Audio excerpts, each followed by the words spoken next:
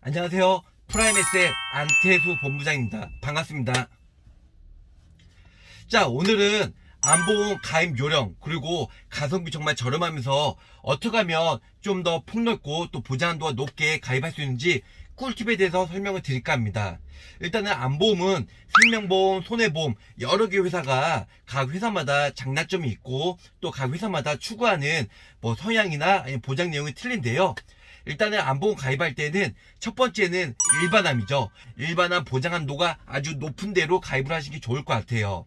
물론 보장 한도를 높게 구성을 하면 보험료가 많이 비싸겠죠. 그래서 납입 기간을 20년나 100세 만기보다는 좀 납입 기한을 길게 해서 20년보다는 30년 납입을 하시면 보험료가 좀 더 저렴하게 가입이 되시고요.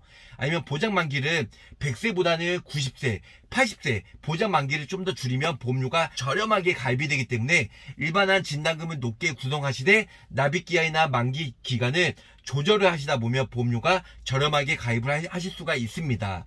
자, 두 번째는 유사암 진단비입니다.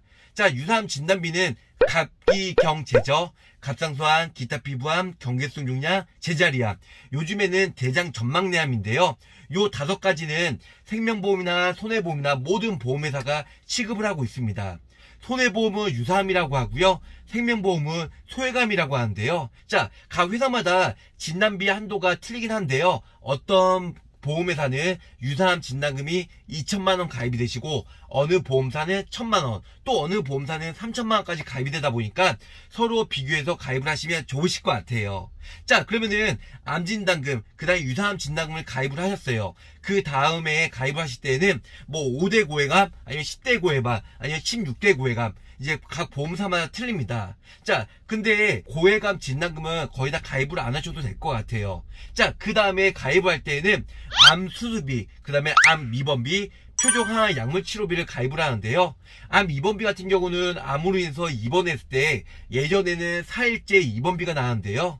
요즘에는 1일 첫날부터 암으로 입원 시에 입원비가 나오기 때문에 암 입원비도 첫날부터 보장이 되는 암 입원 일당을 구성을 하신 게 좋으실 것 같아요.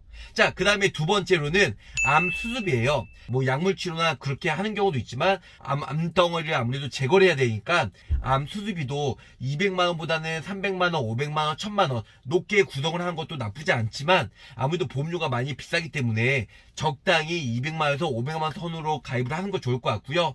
1000만원 정도 한다. 그럼 차라리 암 진단금을 가입을 하는 게 좀 더 가성비 부분에서 유리할 수가 있습니다. 자 마지막으로는 표적항암 약물 치료비예요. 이제 2020년에 표정항암 약물치료비가 다시 새로 출시가 되면서 많은 사람들이 가입을 하는데요. 어떤 보험사들이 20년 갱신, 어느 보험사는 10년 갱신, 각 회사마다 틀려요. 갱신형 구조가요. 근데 제가 봤을 때는 20년 갱신이 좀 더 유리할 수 있을 것 같습니다. 아무래도 갱신형이다 보니까 10년 갱신, 20년 갱신, 보험료 차이는 별반 많이 나진 않지만 20년에 한 번, 그 다음에 다시 한번 20년에 한 번 아무래도 이 갱신형 주기가 좀 더 반복되지 않는 회사로 선택을 하신 게 좋으실 것 같아요.